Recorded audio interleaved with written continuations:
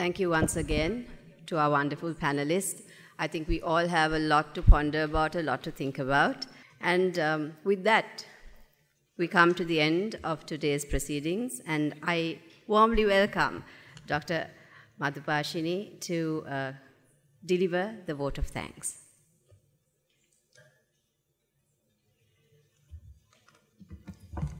So, um, my thanks to the panel. It was really encouraging and it was an educational thing as well to hear what you said.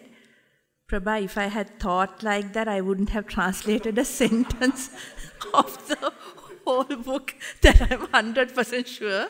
But it was wonderful to see that, you know, that kind of analysis.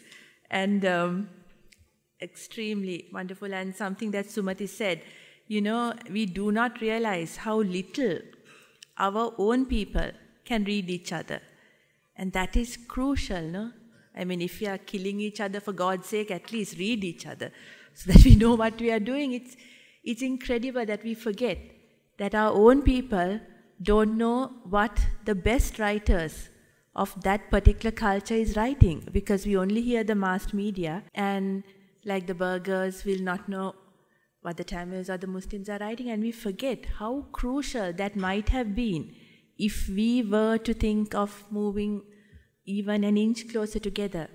And the writers I have picked were, they are not writing underground, they are multiple national award winning writers. And this is what they say.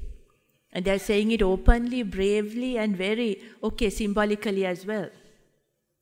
But that was a crucial thing I wanted, you know, done. I'm really glad other people outside are reading, but our people inside should also know what each other is writing.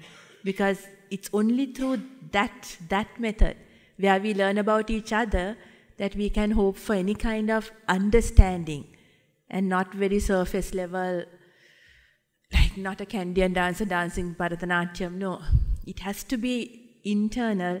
And for me, the most internal thing is literature because you change minds and you change hearts. So that is one of the reasons that I'm really glad this, this came out. Um, two things. It's a vote of thanks, but I am going to use Minna a little bit to explain some things about the book.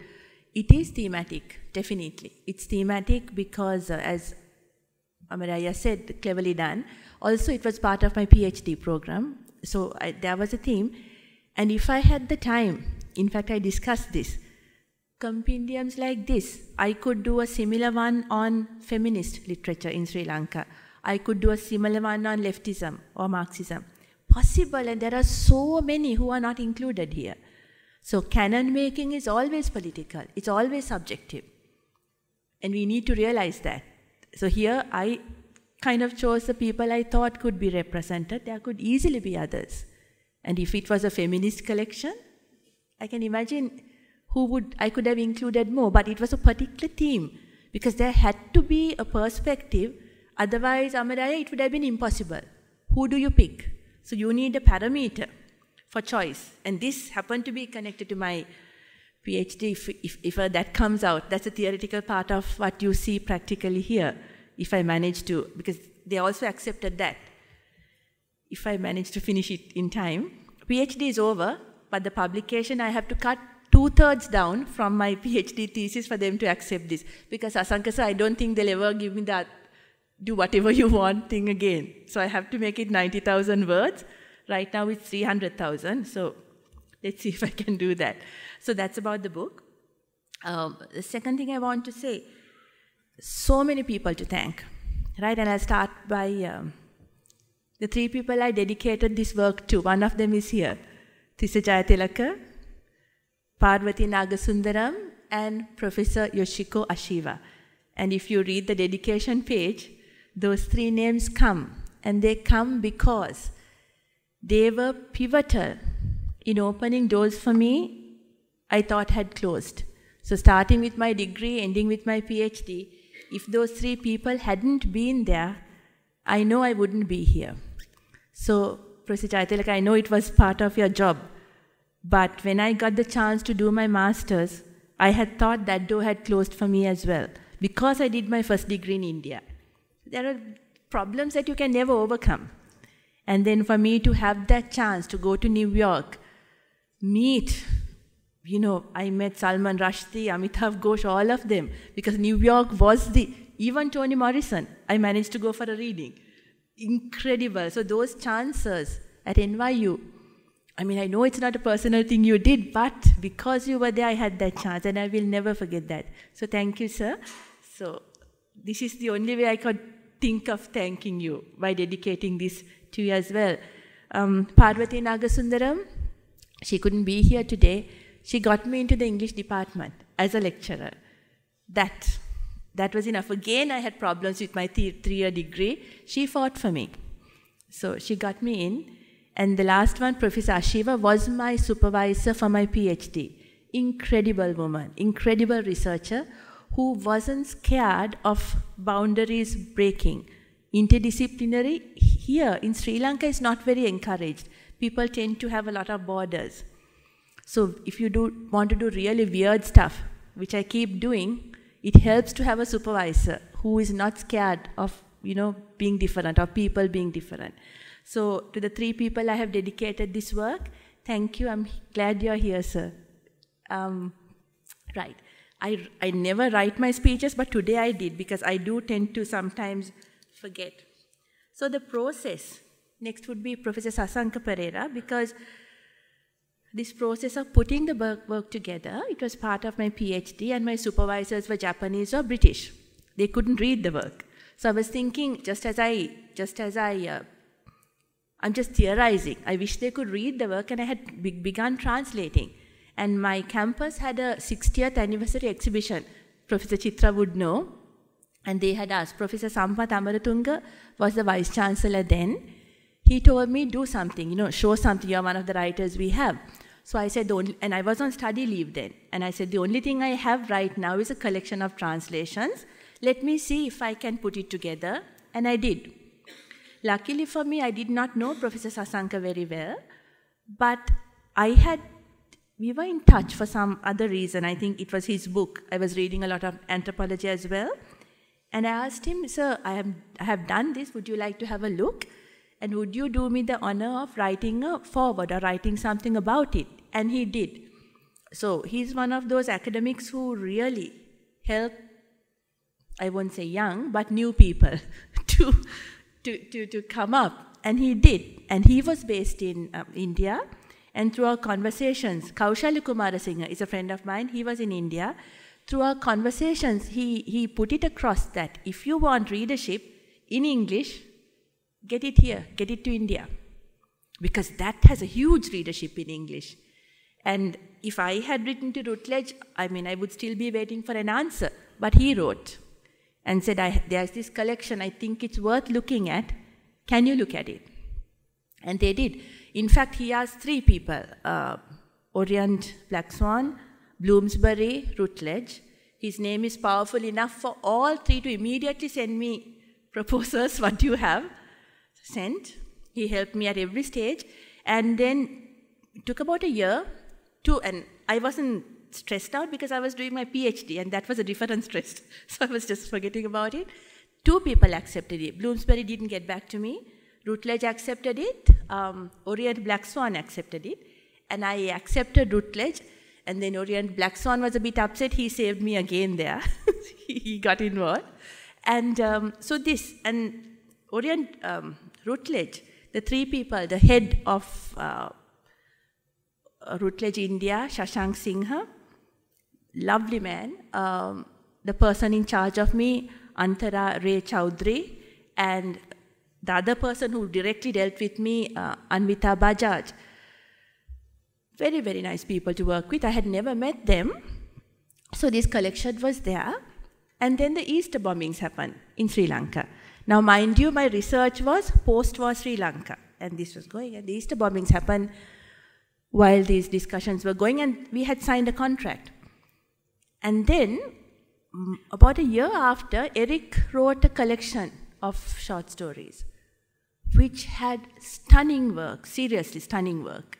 Um, and I read that because I kept on reading. And there was a story called Bhikshu Art Tour, which is uh, from the perspective of a Buddhist monk who was in the hospital when the victims of the Easter bombings had come in.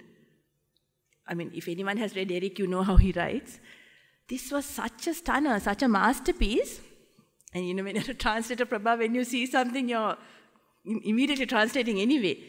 And I then very quietly asked them, is it possible for me to add one more story?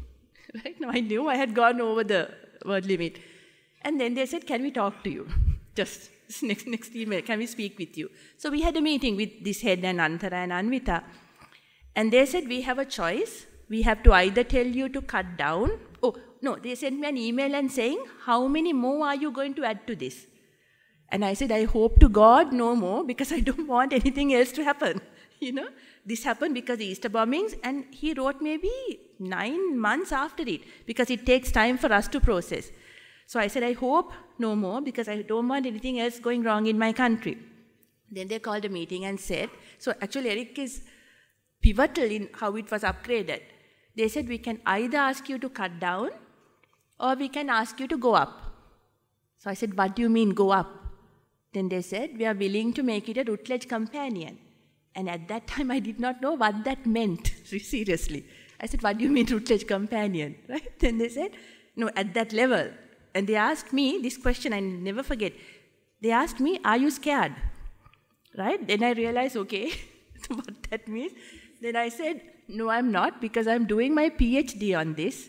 So I have spent years, the whole first year was reading literature, Sinhala literature. I can handle it, but you have to give me permission to add more so that I can be fairer. Because I had picked seven for my PhD. Then they said, This line is so beautiful. If it's a Routledge companion, you have no rules. Do what you want. So I spent more months reading and added the five I uh, mentioned in the, in the in, like earlier, because then Ajit Tilakasena was born in the 1930s, I think and Kaushalya Kumarasinghe 1980s. So there are this spectrum of writers. As Amaraya said, no, it's not representative. But on that particular team, pretty representatives. Because all of them have taken a particular stand about the exclusive nationalism and they have stood by it. Not just in their writing, but probably in their lives as well. But I'll, theorizing I'll do in my PhD work, hopefully that will come out. So that's what happened. So I thank the Routledge, Shashank, Antara, and Anvita for taking it up. I thank Professor Sasanka Perera, who opened doors not just to me and others. Because when Orient Black Swan was a bit um, sour with me for not giving any other work, and then Reverend had GUM ready, so the doors open. And he put them in touch, and now uh, Orient Black Swan signed a contract with Reverend Rahula beautiful novel called Gum. That's coming out. So that's there. And then I have to thank my university. It's an incredible place to be, University of Sri. They, they allow people like me to exist, seriously, Sumati, to, to actually do things I do, and not just on literature, on my English for Fun project, which some of you know about. They carry the work I do in the library, and it's going national. So they allow weirdness to come in. And I'm really lucky for that. I have to thank Professor Sampath Amaratunga, who wanted me to do a book for the exhibition. The Professor Shiranta Heenkenda, at that point, he was the head of the Innovation, Invention and Venture Creation Council, which gave grants for the exhibition. And for that money, I could pay the writers, the first seven original writers, not seven, I think it was nine. Then the writers themselves you know, the five who are, six who are here, and the other people who allowed me that uh, translation. For the photograph, I have to, um, Sumati, can I have your book? Routledge had, thank you so much. Routledge had uh, default photographs, which was, they told me to choose something. If you have seen a Routledge book, you would know what they look like. And I didn't like any of that. And I told Professor Sasanka, what do I do? I can't pick anything. It doesn't seem to fit. And he said, you put your foot down. You say, can I send a photograph? And I did ask. I would never have had the courage till he said. And then they said, fine, give us a photograph and we'll consider it. So I had a friend, he, again, like me, has broken his ankle. I fell down the stairs a few days ago. So this picture is by Situmini Ratanamalala, and he, he is a super photographer and allowed me to use anything I wanted from his albums. So this was his, and he just allowed it free, and they liked it, and they picked it. So this has a very Sri Lankan kind of touch to it, simply because they allowed me to use my own photograph. The design is set for the Routledge Companion, but the photograph is totally uh, the, the Sri Lankan. And Situmini Ratanamalala, he's a senior lecturer at Moratuwa, he isn't here, but all that. And then this, this is where I have to thank Amendra and Chandu, Haputantri, and you know Sarasavi, Mr. Premasiri Haputantri, because, and, and I'm so glad your wife is also here. Um, see, once it was published abroad, and I realized that the price was 190 pounds. When I first heard that, I typed on my computer and I got, at that time, 84,000 rupees. Then I typed it on my phone. I still got 84,000 rupees. and I think I typed it on another computer. And I was like, what do you mean? I mean, who, it, it was, it came down during the COVID time, so but it was really 84,000 rupees, right? And I was like, who is going to buy a book at that price? And that was it. So then I realized they told me no rules, but every time I added a writer, the price went up. I forgot that. Anyway, so I have never yet seen that book. It's probably the most expensive Sri Lankan writer's book ever, I think, for now. And then India published. My copy that my mother is holding is an Indian copy. It was 2000 Indian rupees, and they gave me four of that. And only four. So I put one into the Colombo Public Library, one into my university library, so you can borrow anyone, and two I kept for myself. And um, wonder where Taranga? Is Taranga here? Ah, it's here. Thank you. And then I was thinking, thanks, Savati. I was thinking, how do I get this book to Sri Lankan readers? Because that was the whole point. How do I get people like Sumati or Tracy Holsinger or someone reading what we write? Okay, and then I had been in, in um, conversation with Mr. Vijitha Yapa as well, but that didn't work out. Then I asked Chandu and I asked Amendra, who said, let's see whether we can do it. And Amendra is contacted the people in India, got this done. So it's, it's, it's, I'm so happy Sarasavi got involved right? And, um, you know, Chandu and Amendra, if not for y'all, this wouldn't be in Sri Lanka. And I'm so glad that, you know, and that Sarasavi, you know, that actually bothered to do that. There was a lot of work. I'm sure they had to pay in dollars and do all that. So Routledge published it, but it's distributed by Sarasavi. So I thank all four of you for actually getting this book here because it means so much to have it in Sri Lanka. It wouldn't have happened without you. Thank you very much for that. Okay, then um, right about this launch itself, I needed an academic thing and I was wondering where to have it. And I realized I had a friend here, Dr. Minna Tahir, and I asked her. I did not know anyone at BCIS otherwise. And she said, she, let's meet. She's the one who showed it to the executive director, Professor Gamini Keerawella because I didn't know him. I didn't want to walk in and say, Is this something you can do? She did. She asked him. They called me for a meeting, and immediately, and I was so glad, immediately they saw the value of the book and said, Let's do this. Right? Because I mean, I was wondering whether no one saw the value of this, but you and the BCIS, I don't think they do launches at all. So this is a seminar, but the fact that you bother to do it means so much. And Taranga, I'm not sure where she is, who did all the coordinating with. Thank you very much. And it happened beautifully. So I'm really very grateful. Um, Dr. Minna, to you. Right. Then one thing I have to do, which is the only ceremonial thing I'm doing, is to thank my family. And I'll start with my parents, my father and my mother.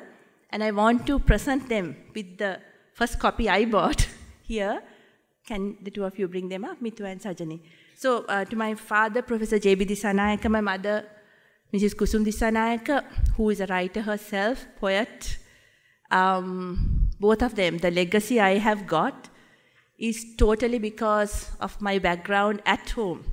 And the two of them have been pivotal in uh, making me who I am. And I'm very aware my ideology is not my father's often, but he still handles it well. So, can I please have them up to present this?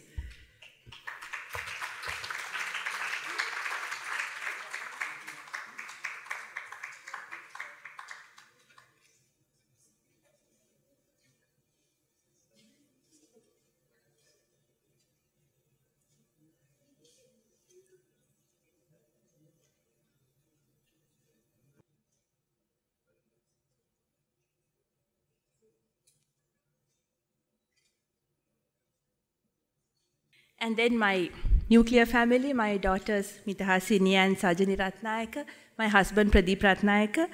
For my PhD and my work like this, honestly, they paid the highest price, honestly. Because as people said, it's a mammoth work, it was. It also meant my time went. So that mentally, physically, I may have been there, but mentally, I wasn't. And how they handled their life is a different thing altogether. So Pradeep was very much a father for them when I had mentally disappeared. But there's always a cost. So I'm very, very glad that this family was there to support me. Still is. I have another book due in a month's time. I haven't even started working it. So Pradeep, Sajani, Mitu, thank you very much. Right. Then Suramya, who is the moderator here, Suramya Hettiarachchi Pereira, we got connected with this English for Fun project. Every last Saturday of the month, both of us go to the Colombo Public Library and read English stories and poems to children. It's a project I'm doing. It's after my own heart, and she's one of them. And she's volunteering for all this. I'm so glad that uh, you compared this and put such style and polish into the proceedings. And finally, Professor Saumya, Professor Prabha, Professor Sumati, Professor Sasanka for the panel discussion, for the moderation. It was such an honor to have you actually speak about the book. I'm very glad, bad at forgetting names. If I have forgotten anyone, forgive me. Finally, all of you, uh, Father Tilina, we met with the Aquinas Prize giving. They invited me, and I had a glimpse of a world I didn't know. Thank you for coming today and Reverend Batuangala was here. Friends, thank you for your time. Thank you for your interest in coming. I'm extremely grateful that you are here. Harshana Rambukwala, you were very much part of this process, though you refused to come and talk here today. But I'm glad you were in Sri Lanka for this short time to actually come here. So I thank you all. There is tea outside to all my friends who are here. I am so glad you are with me for this evening. Thank you very much.